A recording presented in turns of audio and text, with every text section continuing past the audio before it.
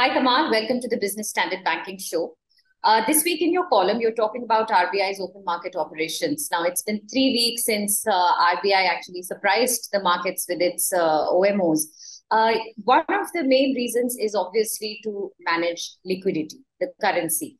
Uh, what are some of the other reasons why RBI resorts to these open market operations? Can you explain to us? Yeah, Ruchika, actually, you know, uh, traditionally it's it's perceived that OMO is for uh, liquidity management because when Reserve Bank of India buys dollar, which means the banks get money out of that, so you are adding liquidity.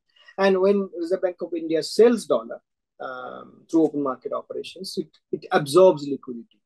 Uh, so it's something like people might say it's like CRR, but it is not. It is not um, it's uh, liquidity management is only one of the um, at least three things that OMO uh, OMO does. Uh, first is liquidity management, as I said. Uh, second would be the yield management. I mean, Reserve Bank of India, of course, definitely would not say that, but historically we have seen that uh, Reserve Bank of India also manages yield. Like for Dr. Reddy, he used it a very brief OMO, very short OMO, but in his time in 2005 if I remember correctly, uh, he signaled that the that the yield will go up.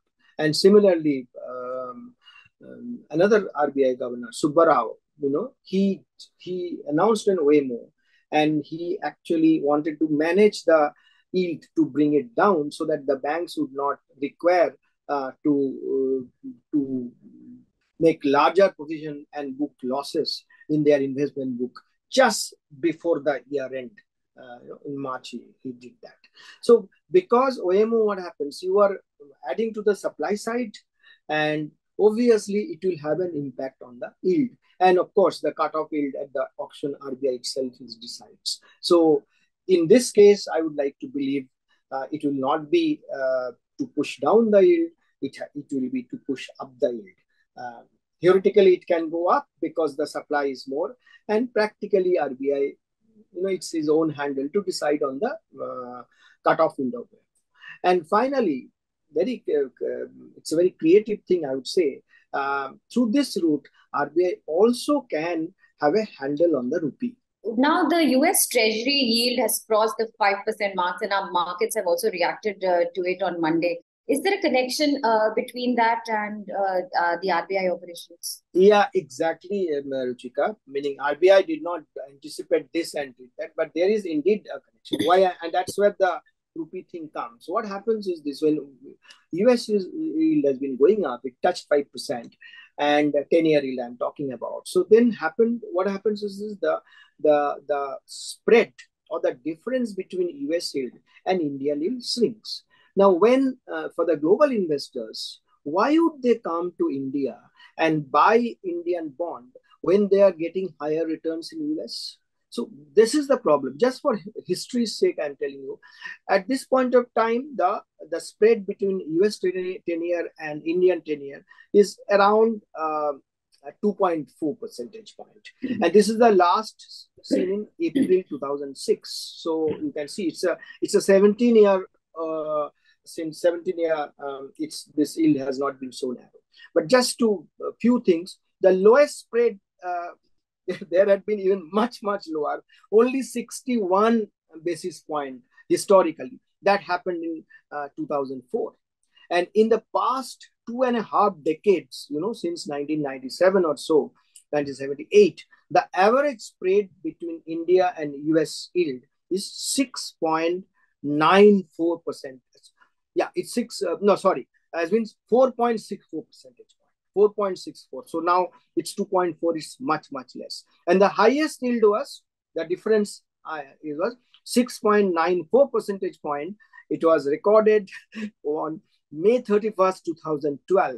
And at that time, what was the US yield? Which is 5% now. At that time, US yield was 1.56% versus 5% now. And Indian yield was 8.5%. So Indian yield is, is much lower now and US yield is much, much higher now.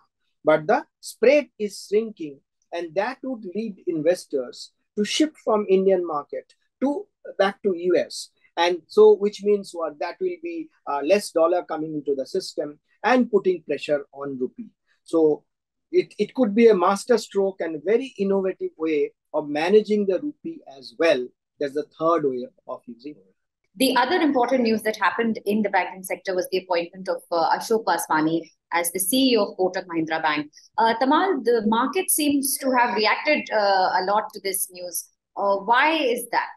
Well, it's a pleasant surprise, I would say, and it's a master stroke uh, by uh, Uday Kotak, if I may say so.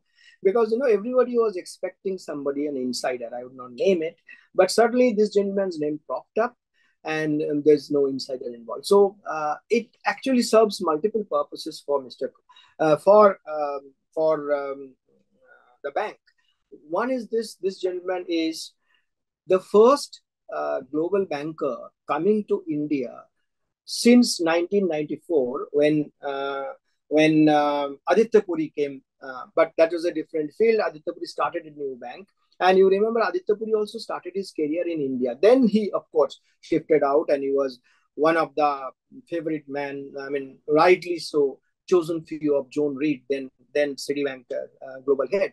But after Aditya Puri, whoever, there are many uh, foreign bankers ran Indian banks or even still running Indian banks, but they are uh, Indians and running the foreign operations of India. Here is a banker who had his entire banking career overseas, um, both in Citi as well as Barclays. And uh, he's a specialist in consumer banking. So it has come with uh, you know right kind of credentials. He's also a techie when the every bank is you know striving to become tech companies. That also will help.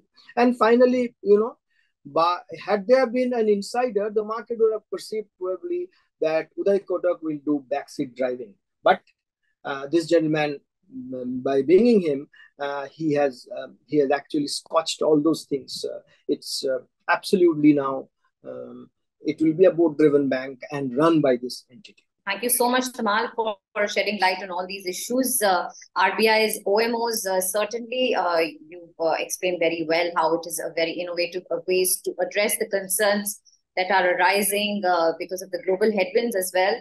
And um, also uh, about the US Treasury reads and the appointment of the new Kotak Mahindra Bank CEO uh, where we'll see if uh, how this master stroke, as you call it, uh, pan out in the days to come. Thank you so much, Tamal, for joining us today. Thank you. If you like this video, share it and subscribe to Business Standard.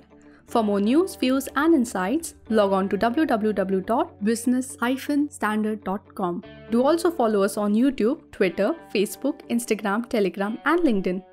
I am the blue of the limitless sky. I am the inspiration that led success so high. I will